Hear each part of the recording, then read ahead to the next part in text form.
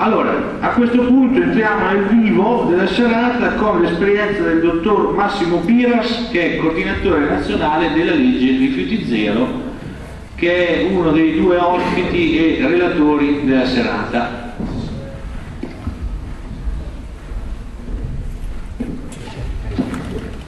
Buonasera a tutti, ringrazio eh, il Sindaco con i consiglieri Mali che hanno ritenuto importante eh, procedere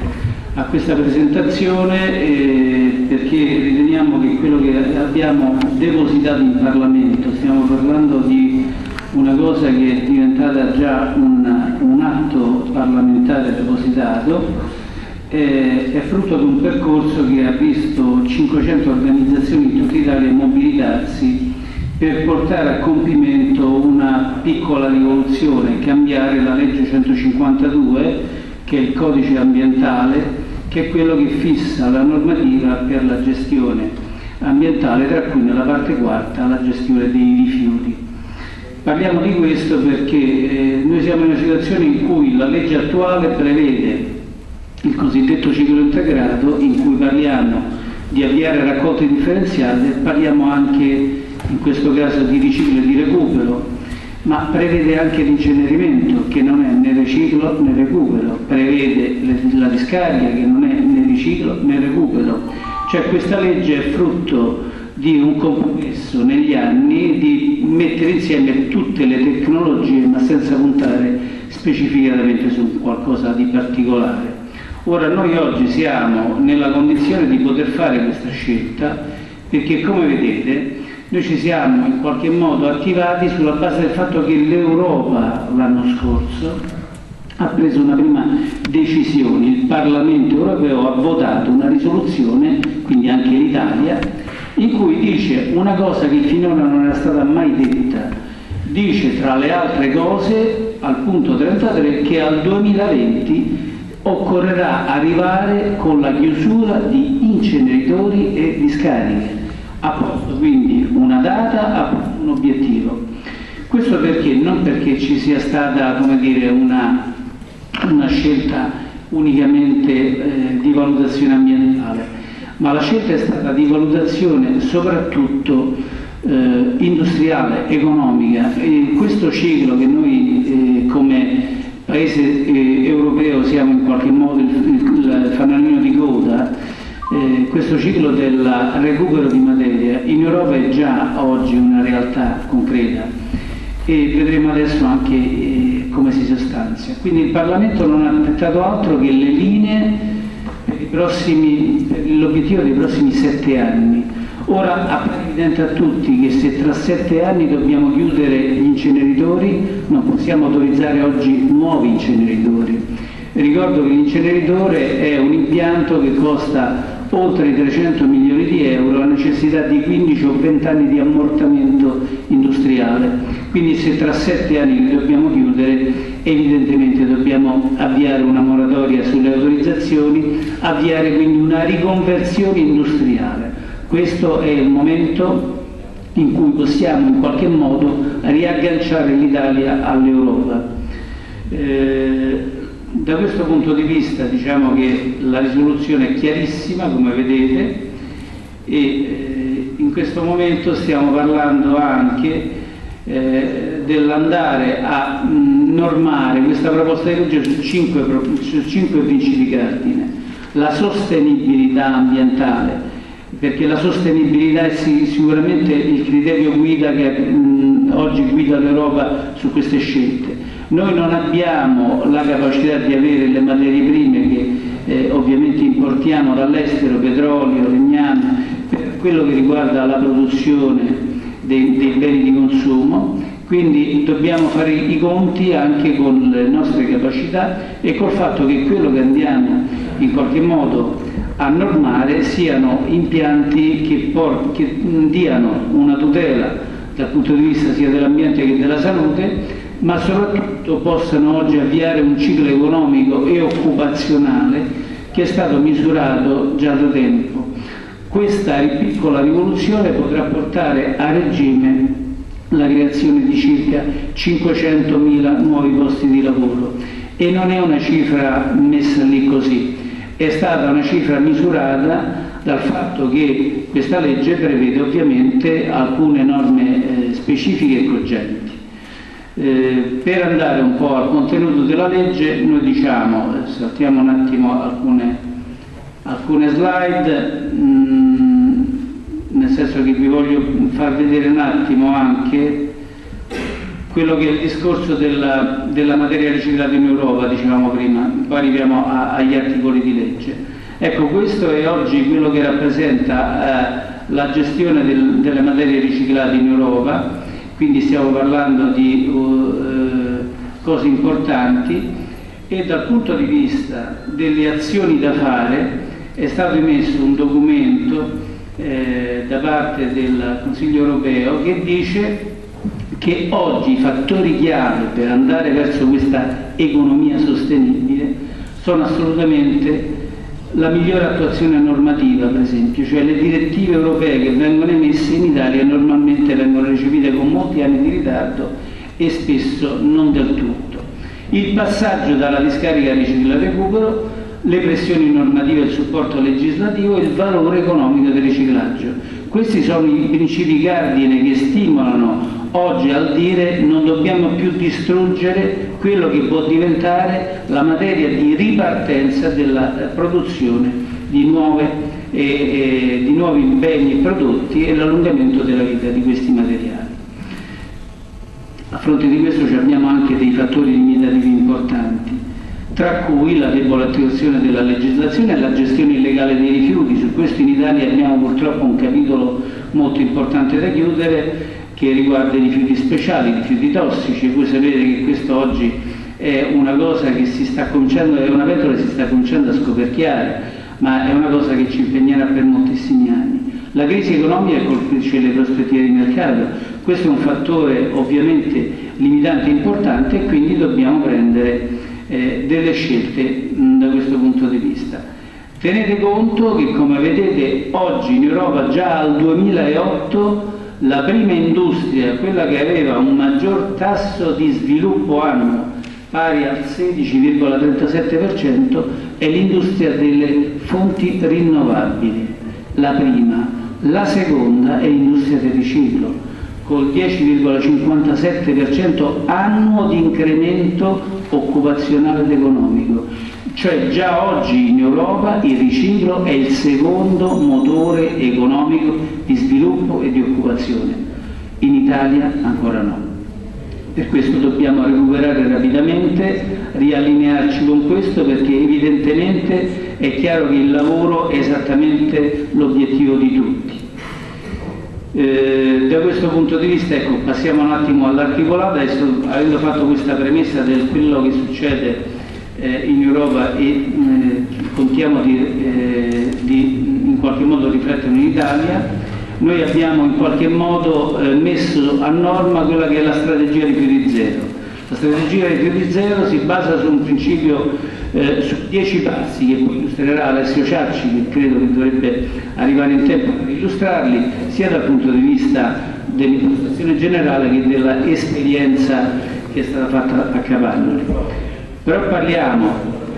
innanzitutto di avviare politiche di riduzione. Riduzione significa ridurre la quantità di rifiuti e gli scarti che noi produciamo e portarla sino al 20% al 2020. Parliamo dell'obiettivo sempre al 2020, quindi parliamo di un periodo di transizione che ci vedrà impegnati sul conseguimento di questi obiettivi. Il riutilizzo, che è una cosa che spesso non è neanche eh, organizzata in Italia, centri di riuso e riparazione, significa sottrarre tante materie eh, e beni e prodotti soprattutto, mobili, elettrodomestici riparabili che possono essere rimessi in circolo con semplici riparazioni o assolutamente rimessi in circolo anche così come sono, se non vengono portati in discarica. Il riciclaggio, che è ovviamente la fase che noi conosciamo meglio, che è la raccolta differenziata, ma che alla raccolta differenziata deve corrispondere il fatto che quello che raccogliamo lo dobbiamo raccogliere in una maniera tale che sia totalmente riciclabile perché se raccogliamo i rifiuti indifferenziati quello non possiamo che portarlo in discarica e recuperare solo poche, poche materie contaminate. Quindi il recupero di materia diventa il fattore principale. Questa legge dice chiaramente che il recupero di energia, quindi la combustione dei rifiuti, è assolutamente una pratica da portare ad azzeramento perché recuperare la materia è molto più importante della poca energia che si può recuperare bruciando la materia, perché noi abbiamo necessità da questo punto di vista di conservare la materia. Eh, come lo facciamo? Entriamo un po' nel vivo del discorso, la legge prevede innanzitutto una cosa abbastanza semplice ma non scontata. Entro due anni in tutta Italia si dovrà passare obbligatoriamente al sistema porta a porta. È ormai patrimonio di tutti che il sistema di raccolta stradale con i cassonetti non va oltre il 30-35% di differenziazione ha necessità di una discarica, perché ovviamente la maggior parte di quello che si raccoglie poi va discaricato, ha necessità di sistemi di selezione che oggi sono per legge diventati obbligatori, perché bisogna comunque tirar fuori la parte combustibile e l'organico, perché se no il talquale produce dei danni enormi diventando materiale che va a contaminare le falde idriche. Quindi l'introduzione del porta a porta per legge entro due anni, quindi non da domani mattina, quindi con la possibilità di avere una finestra di attivazione, è il principio cardine per avere dei materiali puliti e riciclabili. Ora calcolate che il porta a porta si può fare in diversi modi. Eh, eh in Germania usano un sistema che si chiama duale, un sistema duale che ha addirittura due filiere di, di raccolta, una filiera pubblica e delle filiere private eh, noi qui oggi ci basiamo sul fatto che sulla base anche del principio referendario chiediamo che le aziende che si occupano della raccolta siano prevalentemente aziende pubbliche, come credo che sia già in buona parte del territorio. Ora, questo comporta il fatto che avendo dei materiali che possono essere raccolti in modo pulito, possono essere riciclati. Dobbiamo agire anche sulle leve economiche perché il materiale riciclato deve essere favorito dal punto di vista fiscale, quindi con l'esenzione dall'IVA o con una aliquota molto bassa, perché diventa il punto di partenza della riproduzione di nuovi materiali e beni. Quindi sull'articolo 3 abbiamo messo anche questo elemento e sull'articolo 4 quello che accennavo prima, la moratoria all'incenerimento. Dobbiamo subito fermare le nuove autorizzazioni inceneritori perché abbiamo la possibilità oggi di andare col porta a porta verso eh, l'industria del recupero di materia e quindi non abbiamo più necessità di distruggere questi materiali. Questo possiamo farlo se eh, arriviamo anche all'obiettivo di eliminare quello che sostiene questa impiantistica, che è essenzialmente l'incentivazione a carico della collettività. Prima si chiamavano CIP6, certificati verdi, oggi hanno assunto una nuova edizione, ma di fatto questa industria è incentivata, a, sebbene sappiamo che è un'industria che non produce eh, eh, come dire, una ricchezza, ma distrugge una ricchezza e crea un elemento che sono ovviamente i prodotti che escono dall'incenerimento, che sono prodotti anche pericolosi, oltre a quella che è la contaminazione ambientale da polveri e da particelle tossiche. Quindi l'eliminazione dell'incentivazione è uno dei fattori cardine e ovviamente anche il fare in modo che i comuni possano essere eh, sganciati dai contratti che hanno obbligatoriamente firmato, che prevedono delle penali. Questo significa in qualche modo riuscire a, a avviare un patto di riconversione che entro tre anni darà modo all'industria che oggi esercita queste attività di passare da quello che è questo tipo di tecnologia a una tecnologia del recupero. Il recupero si fa fondamentalmente sia attraverso la selezione, il recupero e il riciclo del secco, sia attraverso il trattamento dell'organico che vedremo tra poco. Eh, una cosa che ci interessa in particolare, come dicevo prima, è i rifiuti speciali. Oggi noi abbiamo una situazione particolare per cui siamo nella situazione in cui questi rifiuti, e parliamo anche dei rifiuti trattati indifferenziati in discarica, che sono rifiuti speciali, il cosiddetto CDR, quello che viene portato in incenerimento, possono essere mh, in qualche modo portati in tutta Italia, quindi non c'è una normativa di restrizione regionale. Questo ha comportato il fatto che si sono innescati anche dei meccanismi criminali di gestione illegale. Eh, questa norma che noi mettiamo su, per evitare questo fenomeno è la regionalizzazione dei rifiuti speciali. Quindi l'obbligatorietà entro due anni che i rifiuti speciali vengono trattati nell'ambito regionale e quindi vengono anche realizzati gli impianti a servizio e quindi anche ulteriore occupazione. Eh, l'industria del, del, dell'ecomafia, vedete oggi, eh, rappresenta oggi un canale importantissimo perché il rifiuto speciale ricordiamo che è circa 8 volte quello che è il rifiuto urbano come importanza, come, come capacità e genera dei flussi economici particolarmente preoccupanti e sta portando queste industrie, questi materiali fuori dall'Europa, soprattutto come vedete in Cina. La Cina è quella che sta assorbendo l'industria, eh, cioè i materiali sia legali che illegali, perché sta mh, finanziando la propria industria attraverso mh, vari, vari, circoli eh, e vari canali. Eh, quindi noi quello che stiamo mettendo in qualche modo in crisi e in discussione è il sistema attuale, attraverso il fatto che riteniamo che il, eh, lo smaltimento deve essere tassato e siccome l'incenerimento eh, come oggi viene praticato è una pratica di smaltimento come la discarica, perché si parla di recupero energia ma esserci almeno per legge un livello minimo del 65% di recupero energetico per essere classificato come recupero, invece attualmente parliamo di impianti che sono realmente di eh, eh, smaltimento.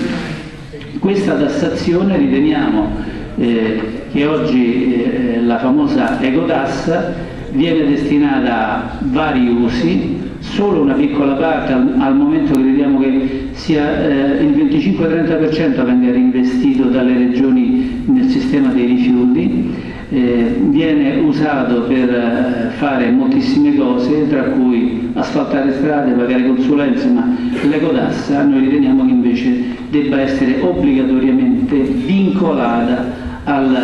alla spesa eh, rispetto al discorso della riconversione impiantistica, rispetto al finanziamento del al porta a porta perché i comuni devono in qualche modo essere anche incentivati nel passaggio eh, dai, dai, sistemi tradizionali del sistema porta a porta e alla tariffa puntuale e quindi c'è bisogno anche di premiare sia i comuni virtuosi che i cittadini che fanno ovviamente che si impegnano su queste pratiche. Eh,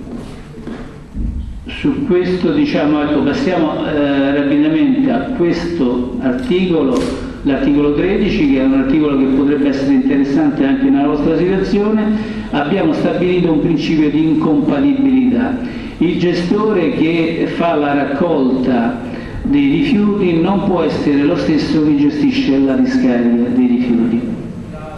specialmente se questo soggetto è un soggetto privato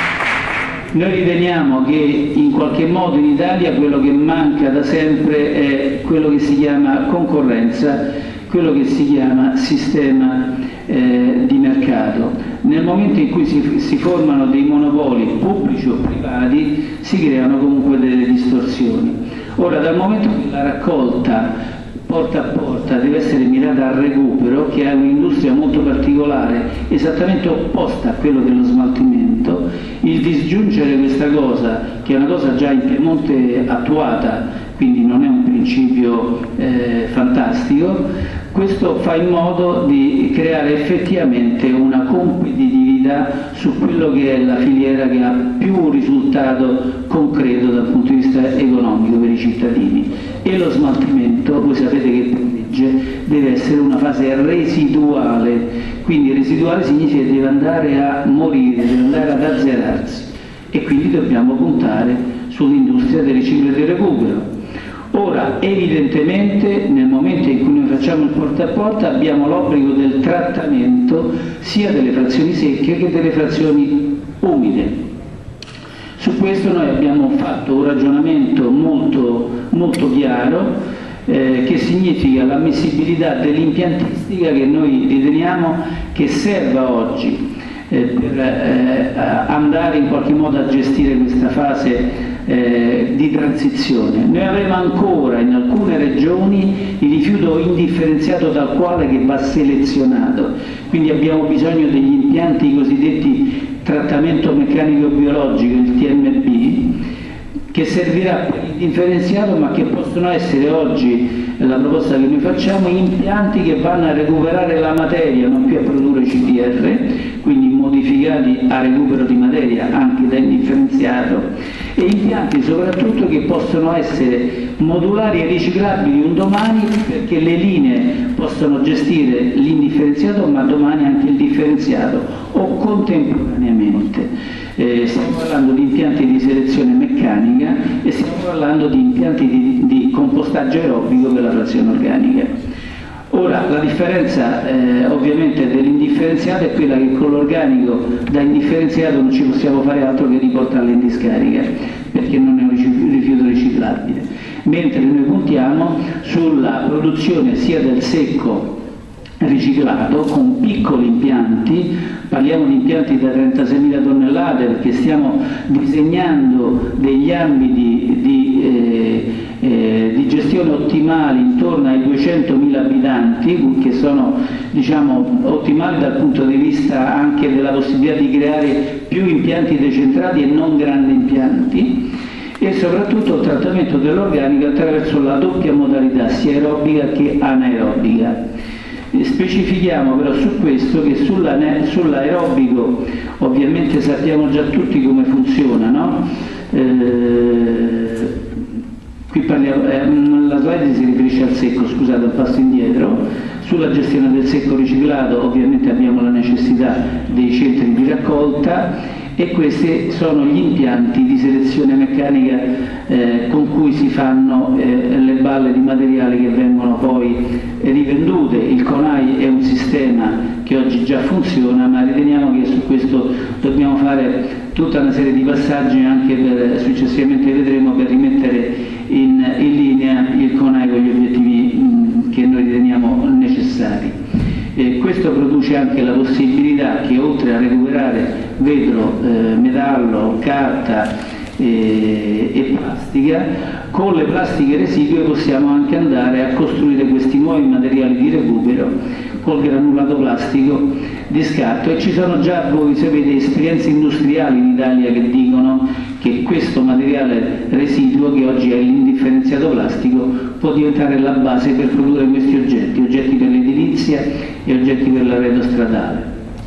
Quindi stiamo parlando di andare a un recupero quasi totale. Sul discorso del trattamento della frazione organica facciamo una distinzione perché dobbiamo fare anche una piccola informazione, gli impianti di compostaggio anaerobico credo li conosciamo tutti, ma non tutti sappiamo che questi impianti il 50, oltre il 50% del carbonio lo disperdono in aria sotto forma di CO2, cioè hanno delle emissioni, anche questi impianti che sembrano così naturali, così eh, in qualche modo eh, semplici, e la tecnologia è quella, si fa fermentare in presenza d'ossigeno, c'è un'ossidazione e si produce CO2 che va in aria.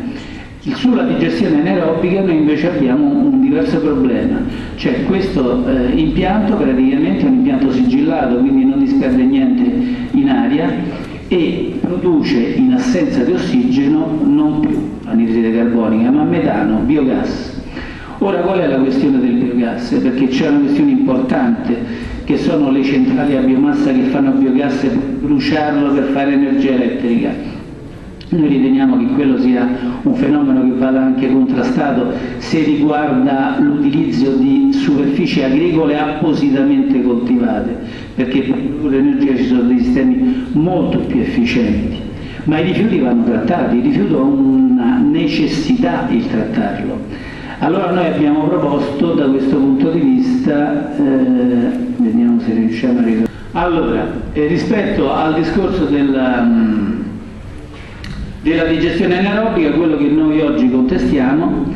è che il biogas viene bruciato per produrre energia anche nel momento in cui si trattano rifiuti e la produzione di energia riguarda solo il 30% del contenuto di quel biogas, perché il 70% è calore che viene disperso in aria, quindi fondamentalmente ha una diseconomia dal punto di vista industriale, perché recuperare solo il 30% del recupero del contenuto energetico di quel gas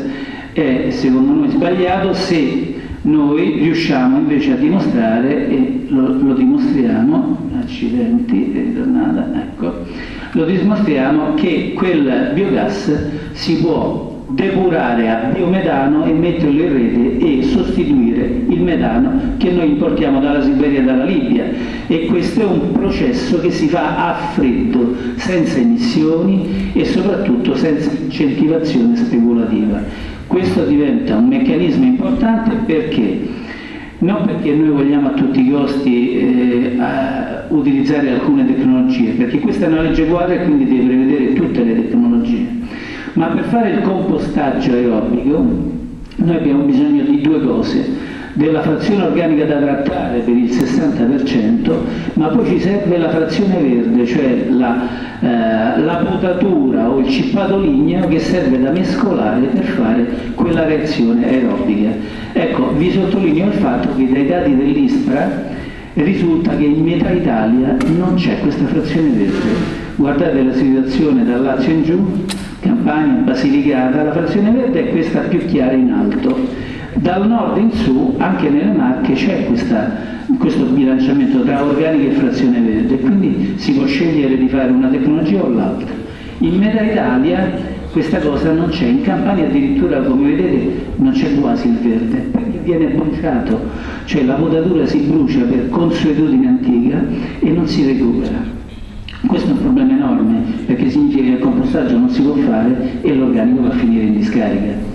Quindi evidentemente abbiamo bisogno dell'integrazione tra tutte e due le tecnologie e le regole che abbiamo visto esattamente sono queste. Eliminare l'incentivazione, divieto di combustione del biogas, immissione in rete o commercializzazione del biometano per l'autotrazione. Ci sono già macchine che vanno a biometano in Italia, vengono già vendute. L'app della Volkswagen è una di queste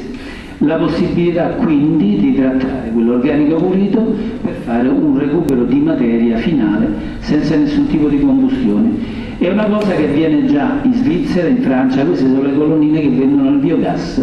per le automobili, per i camion, per i pullman. Vedete siamo un pochino indietro da questo punto di vista. Per risolvere questo problema noi abbiamo chiesto un incontro al Ministro Orlando perché quello che manca è solo un decreto ministeriale che dice quali sono le caratteristiche per l'emissione in rete e per la commercializzazione. Una cosa che ancora non è stata fatta. Secondo passaggio, la tariffa puntuale, ne parlava pure l'assessore provinciale, la tariffa puntuale è assolutamente, secondo noi, eh, indispensabile nella, eh, nella filiera rifiuti zero perché nel momento in cui facciamo il porta a porta noi dobbiamo premiare chi differenzia di più e dobbiamo non pagare a metro quadrato come si paga adesso o a numero di abitanti ma per la capacità individuale, puntuale di ogni famiglia, di ogni nucleo di eh, eh, cimentarsi con questa, con questa possibilità. La, la, come vedete in Europa è praticamente adottata quasi dappertutto, anche su questo noi abbiamo ovviamente i primi comuni che, la, l'hanno adottata, però non è ancora un obbligo, anzi attualmente credo che la maggior parte, la stragrande maggior parte dei comuni è ancora sotto il regime della Darsu o della DAI. Quindi questo qui diventa anche questo un obbligo di legge, entro tre anni si passa alla tariffa puntuale. La notizia di ieri è che anche il Ministro Orlando nella nuova tax service ha inserito la tariffa puntuale come un elemento di opzione possibile, quindi non bisogna necessariamente passare al regime eh, della, della, ex eh, tax. Ehm, sulla tariffa puntuale ne parlerà poi eh, meglio Alessio. Gli ambiti di raccolta ottimale ne abbiamo già parlato, parliamo di piccoli ambiti di 150-200 mila abitanti in cui si fa trattamento e raccolta, in cui l'industria e l'occupazione rimane sul posto.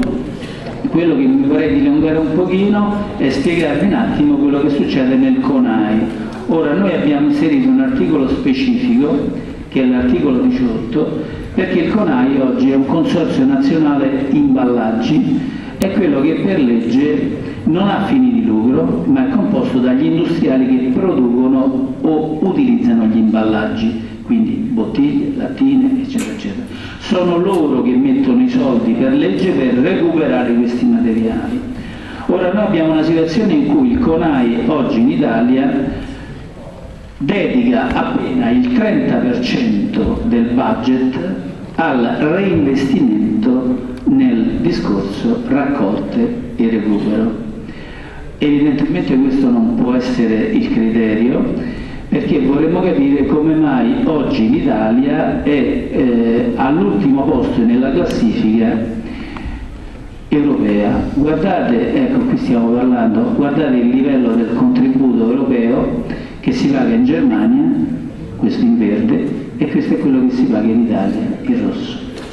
Cioè noi paghiamo oggi un livello di contribuzione, cioè loro pagano, loro mettono dei soldi, ma ne stanno mettendo sempre meno perché stanno abbassando questo contributo, se lo autoriducono e non è più sufficiente questo contributo a dare i soldi ai comuni per il ristoro dei costi di raccolta e di trasporto, perché i comuni sapete che hanno questi contributi dal CONAI che servono a rientrare dei costi vivi, così come i riciclatori, le, le piattaforme convenzionate sono pagate dal sistema CONAI. Se il sistema CONAI abbassa i costi, abbassa anche i rendimenti e quello che paga questo sistema. Il sistema sta entrando adesso in crisi perché questi costi non sono più sufficienti. Allora noi abbiamo stabilito una regola che dice che il contributo ambientale del CONAI deve essere agganciato alla media europea, non alla Germania che come vedete sta 20 volte sopra, alla media europea, perché non si capisce perché la plastica in Italia valga 20 volte meno che in Germania, visto che il costo produttivo e il manufatturiero della plastica è sicuramente lo stesso, se non maggiore da noi che abbiamo dei costi energetici superiori alla Germania. Quindi è, è assolutamente una questione dire, di politiche industriali che vanno in qualche modo a ostacolare il riciclo. Quindi siccome il CONOI è un consorzio eh, istituito per legge, per legge noi diciamo che debba reinvestire il 70% delle risorse nelle raccolte e nel riciclo e il 20% nella ricerca sui nuovi materiali con cui eliminare quello che oggi non è riciclabile, perché noi continuiamo a produrre imballaggi e prodotti che non sono riciclabili. Quindi questi dati sono dati che lasciano in qualche modo anche il segno e qui vedete esattamente quello di cui vi parlo una bottiglia di PET da 1,5 litri in Finlandia viene pagata 76 centesimi, in Italia 0,3 centesimi di euro, 0,3. In Germania stiamo parlando di 5 centesimi, diciamo che potrebbe essere un valore medio rispetto alla Finlandia, ecco 5 centesimi contro 0,3 centesimi, stiamo parlando di un altro mondo Ecco, questi sono i dati reali e quindi noi dobbiamo fare in modo di riallinearci con l'Europa. Ecco, questi sono infatti i dati su quella che è oggi la, eh, il confronto tra eh, la gestione con AET e le gestioni private, perché stanno avviandosi anche quei distretti sono un sistema che possono prefigurare dei piccoli conai locali e quindi la possibilità di non aderire necessariamente a questo nel momento in cui l'ambito territoriale ha una modalità omogenea di raccolta, ha la propria impiantistica, si può gestire il recupero e il riciclo dei materiali con un'organizzazione. Chiarito questo punto, eh, una cosa importante che abbiamo inserito è il monitoraggio ambientale, cioè la eh, eh, due cose importanti, l'introduzione del reato a, di danno ambientale che tuttora non era stato normato dal punto di vista dell'obbligo eh, di chi inquina non solo di bonificare ma di avere una responsabilità civile e penale risarcitoria. Eh, questo si lega con il discorso dell'avviare un controllo e monitoraggio pubblico della gestione eh, del territorio attraverso l'istituzione dei, dei, registri dei tumori, laddove ovviamente ci siano situazioni che inducano a, a, ad attivare questa pratica, perché finalmente si possa mettere in, in funzione il, eh, la fonte con, con, il danno, tuttora viene contestato il fatto che il danno ambientale e quindi le malattie non possano essere messe in relazione diretta con la fonte d'emissione. Con il registro tumori si, si avvia un processo statistico importante che va in qualche modo poi a dare dei risultati che diventano scientificamente anche inoppugnabili.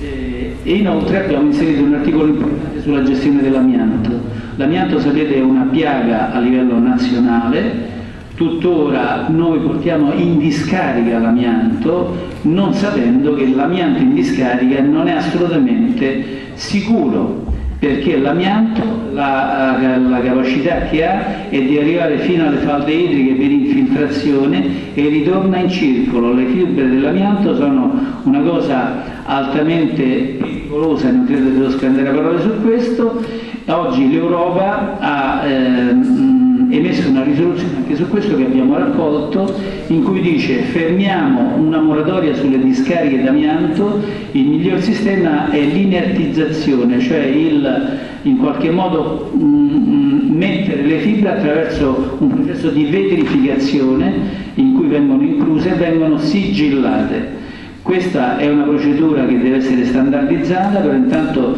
fermiamo il discorso delle, delle discariche o delle, o delle, cave perché l'amianto non è assolutamente sicuro in quel tipo di situazione. Eh, l'aspetto della salute quindi è un aspetto che ci interessa particolarmente. E, oltre all'aspetto della salute ci interessa ovviamente la prevenzione, come dicevo prima, quindi un piano nazionale che vada a diminuire l'usa e getta, a normare la prevenzione e la riduzione dei rifiuti a partire dalle scuole, dagli uffici pubblici, dall'acquisto di carta riciclata e materiali riciclati e ultima cosa, ma non ultima, il discorso della partecipazione dei cittadini. La partecipazione dei cittadini è in qualche modo un fattore che oggi è secondario perché i cittadini arrivano a conoscere i processi decisionali quando sono completati e quando sono completati possiamo solo accedere ai ricorsi. Ecco, quello che dice una convenzione di Arus che è approvata già da tempo ma mai applicata è che i cittadini debbono partecipare fin dall'inizio alla formazione del processo de decisionale rispetto agli impianti, rispetto alla gestione dei rifiuti e debbano avere l'accesso totale ai dati e dare il loro parere in tutte le fasi del processo, non semplicemente alla fine, perché alla fine diventa anche in qualche modo difficile e economicamente insostenibile. Noi vogliamo partecipare direttamente al processo in fase di progettazione. Ecco, io chiudo qui, do la parola a Alessio Ciacci, spero di non essere stato troppo lungo, però la materia è notevolmente complessa. Grazie.